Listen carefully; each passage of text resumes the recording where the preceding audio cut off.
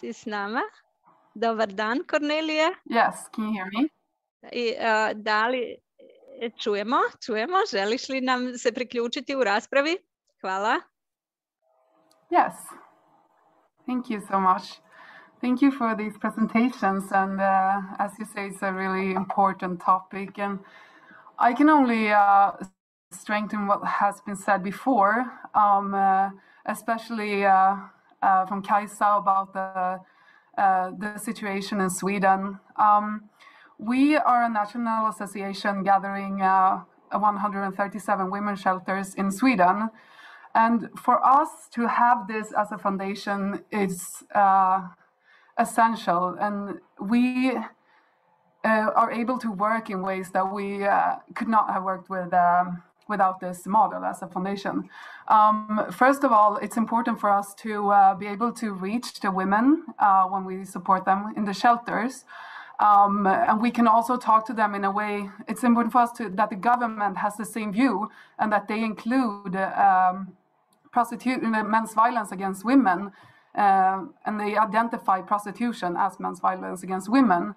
Um, it's also enabled us to talk to young people about the issue, as you have talked about before with the pornography and the prostitution industry, which is really big, and it also helps the young people to understand, and uh, we can also use the right words. Um, so they know what with all these new platforms uh, as has been mentioned like uh, onlyfans and uh, the sugar dating platforms that this is prostitution and this is um, we can talk about consent in a way when we have this uh, uh, legislation.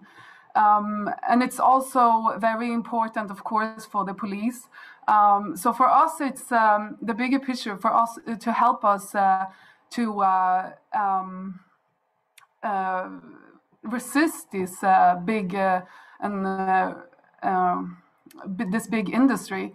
Um, it's just um, a way that enables us to work, and we think that it's it's really really important. And since uh, a lot of uh, men buying sexual services from Sweden, uh, they do it in another country. They do it abroad now um, that makes it very important also to um, to address this issue because um, we wanted to we want we want it to be uh, uh, the common ground because it's obvious that this is you need to uh, put the focus on the men and um, uh, with criminalizing and and um, makes it very which makes it very clear that that is the foundation of the problem. Um, yeah, uh, I just want to say that this is uh, this is really crucial for our work, and um, yeah, thank you for talking about this issue. It's really important.